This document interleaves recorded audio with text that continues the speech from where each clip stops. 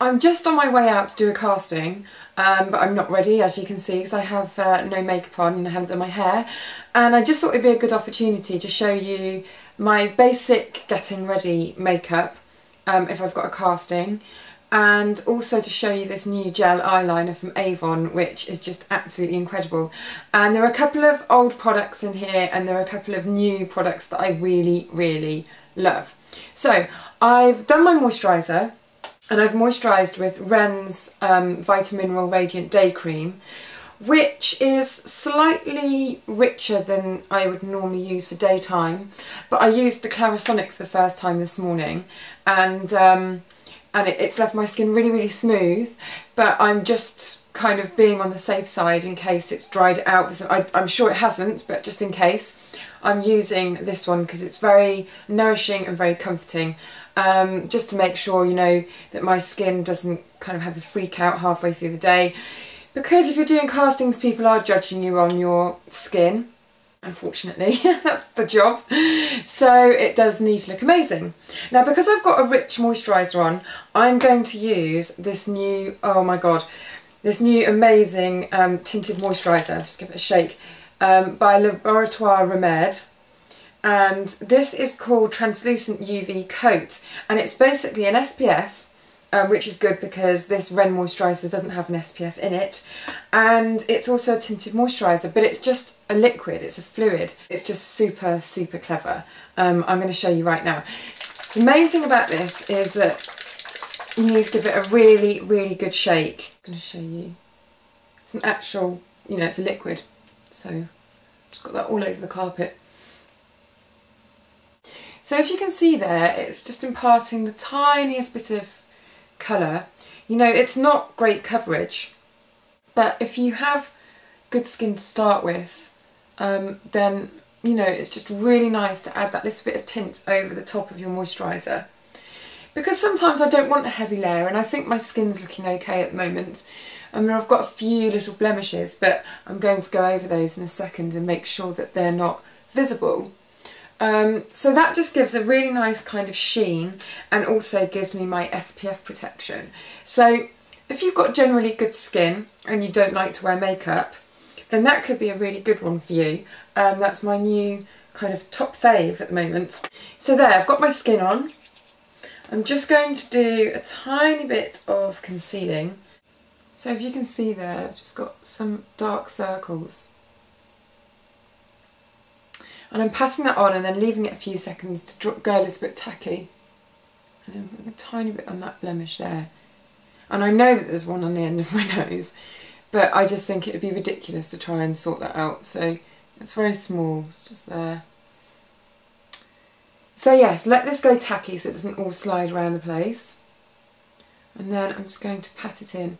And I'm doing that over the UV coat because that's sunk in really quickly. And um, you know, sometimes I find that if you put things over your concealer, because I tend to rub things in all over my face and I'm not very discerning, um, I can find that, you know, the concealer gets shifted around a bit. So I'm just patting that on over the top. Oh, by the way, I've just caught sight of my nails. Isn't this the most incredible nude colour? And I just think it's the nicest, poshest, nudie beige colour in the world. So this is going to be my favourite for quite a long time I should think. Unless somebody suddenly brings out some masterpiece of nail varnish. So there we go, there's kind of skin pretty much done and I just want to use this which is a new Avon um, Super Shock eyeliner pencil. It's a gel eyeliner. It's a pencil but it's a gel, if that makes any sense. And I'm just going to use this to put quite a thick line over my top lashes and then just line inside my eye.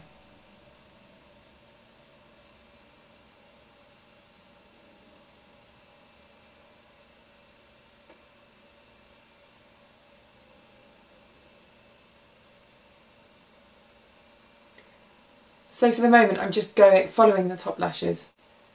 Now I don't know whether you can see that but this pencil is just jet black, um, really incredible it's a really intense colour first time round, so if you can see there, you know, that's just once, just sweeping it over.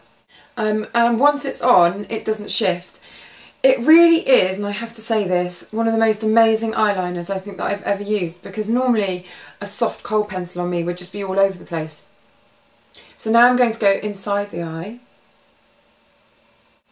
And I don't mind if it's a little bit smudgy because it, you know, I don't really do precise looks and I'm not a makeup artist and, you know, it's just me doing my makeup. So um, I think it really does make a difference though just to line inside the eye there. So there, I've lined both eyes and I'm just going to do inside the waterline in the inner corners here. And then I'm just going to do a tiny flick. So I'm going to follow the line of bottom of my eye. This pencil needs to be slightly sharper, but hey ho. And then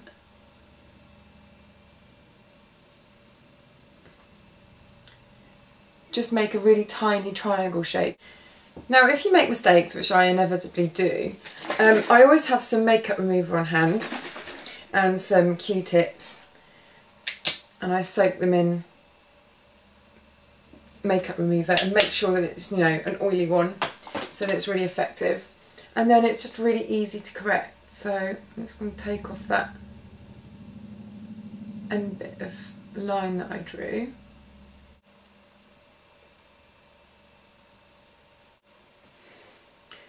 So there.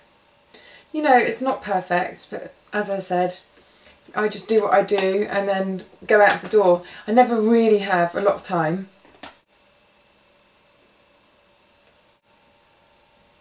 And I'm just going over my lashes with some Great Lash Mascara. So that's the mascara done and the eyes done. And that's all I'm going to do. So it's really, really quick, but I think it's quite effective. I'm just going to give myself a bit of a bronze up. This is the Perfection Bronzer by Marks & Spencer's. Possibly my favourite bronzer of the whole of the summer. And now I'm just keeping it going a little bit into autumn before I change for a much, much kind of paler, paler colour. So just using a large powder brush as a shimmerer. And going under the cheekbones just to give myself a little bit of shape and then down the nose. So much healthier colour there. And lipstick wise I'm going for Avon. This is quite a nude colour. I'm going to keep the lips, you know, very neutral. This is called Pout.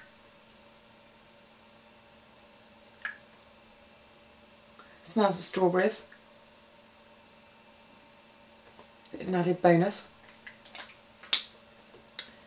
Now as you can see I don't go in for you know long-winded makeup this is just what I do to get out of the door but you know I use makeup that has really good textures that that's quite foolproof so you know it shouldn't really need a lot of work and I rely on my favourite beauty products just to be able to get me out of the door in very very little time so there we go that's what I've done for my makeup and hair wise obviously I'm not going to go like this um, just going to give it a quick brush through. I use a Mason Pearson hairbrush. I've had this for about, goodness, 10 years. And I'm just going to finish off with some Moroccan Oil Glimmer Shine Spray, which just gives it kind of a glamorous, um, glamorous look.